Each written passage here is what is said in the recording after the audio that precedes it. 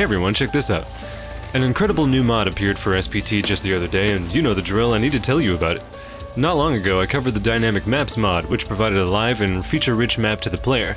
I talked about how it was instantly valuable for configuring and troubleshooting bot mods like Donuts Insane, being able to monitor all bot behavior all at once with location data and real-time references. The mod that I found for today easily fills in after Dynamic Maps ceases to be useful after a raid ends. Raid Review by ekky provides saved action and location data in a very user-friendly format that can be viewed freely in a Chromium-based browser. Complete top-down color-coded replay data with icons, event messages, and a timeline with markers.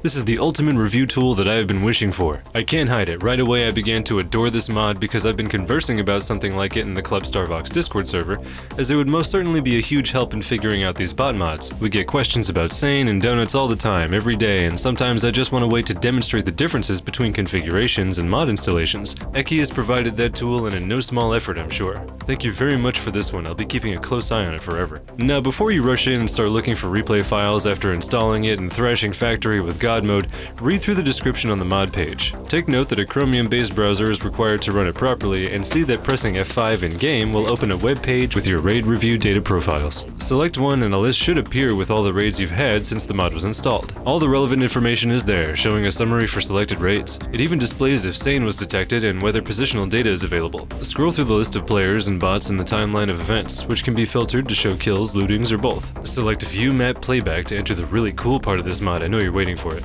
I'm sure you can imagine my excitement at this point. This page contains a delightfully minimal and genre-appropriate dynamic map for each raid location in Tarkov. It can be zoomed and dragged for scrolling with tabs at the top for each upper or lower level. At the bottom is the timeline with markers for events and playback controls, even some settings to filter the map's visible icons. The player and bots are shown as animated colored dots that leave trails as they move and change to adorable little skulls when killed. I wouldn't have expected the animations, but they're delightful and very accurate. A real pleasure to watch at high speeds.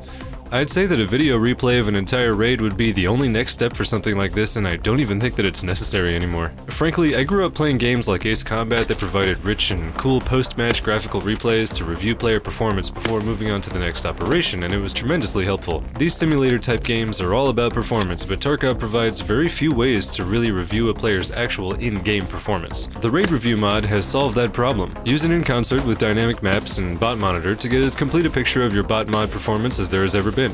What a time to be alive. Go check out the mod and don't forget to read the description thoroughly. Thanks again to developer ekky, I'm already having a great time with it. And thank you for watching. Like and subscribe for more SPT mod coverage and demonstration. We're on Discord and Patreon and even SoundCloud. Find our links in the video details. Good luck out there.